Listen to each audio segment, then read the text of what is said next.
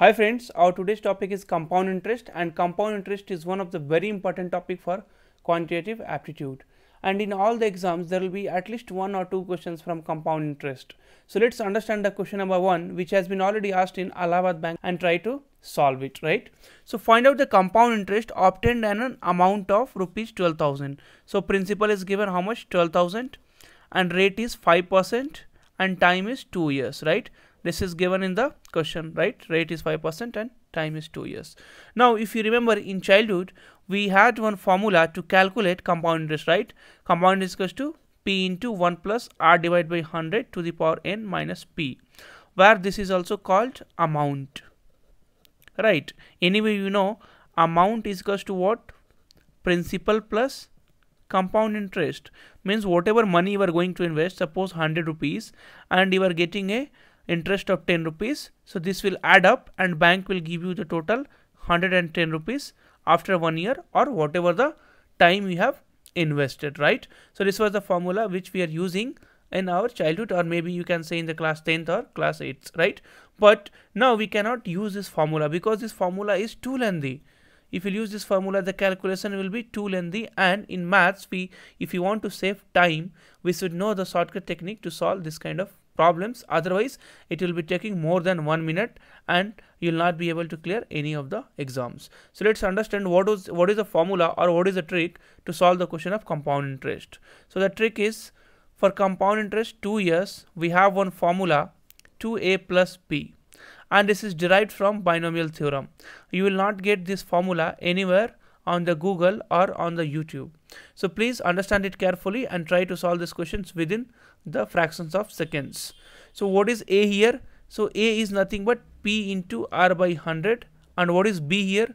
B is nothing but A into R by 100. Very easy to remember, right? Compound this for 2A is equals to 2A plus B where A is equals to P into R by 100 and B is equals to A into R by 100, right? Okay.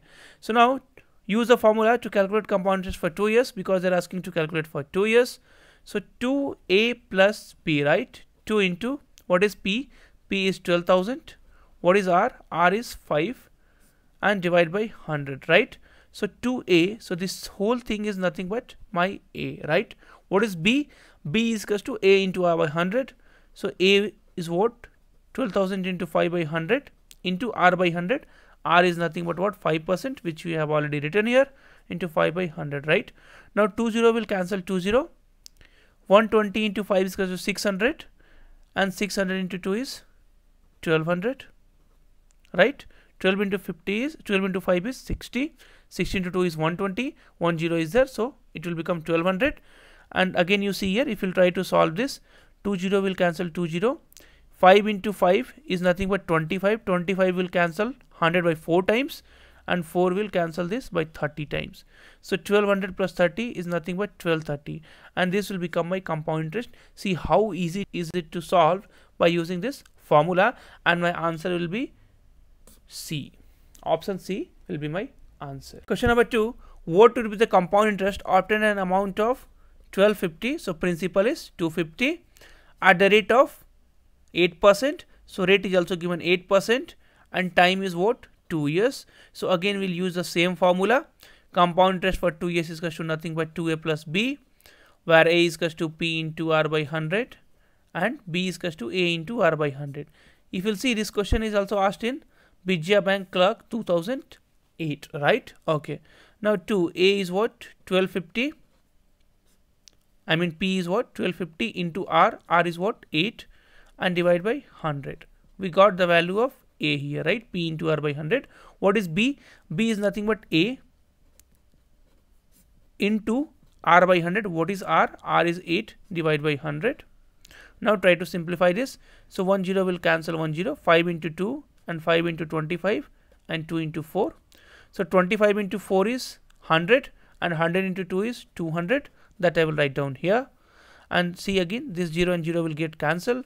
5 2s are 5 25 times and 25 4 times. 4 into 2 is 8 cancel only 8 is remaining that is nothing but 208. So 208 will be compound interest for 2 years right and B will become my answer if you're trying to use the formula compound interest equals to principal into 1 plus r by 100 to the power n minus of p. Let's see the complexity level. p is equals to 1250 into 1 plus 8 by 100. n is what? Time. Where n is equals to time. r is equals to nothing but rate. So 2 time is what? 2 years and minus 1250, right? Now you see 1250 into 108 divided by 100 square minus 1250, right? Okay. Now 1250 into this will go by 27 times this will go by 25 times. So 27 by 25 into 27 by 25 minus 1250 so from here you can see the complexity level of the calculation. And if anywhere in mathematics calculation is more then the problem is automatically becomes complicated right? So try to use a formula which is very much efficient and it is derived from the binomial theorem which will make your problem very easy right? And you can solve the questions in fractions of time. Thanks for watching the video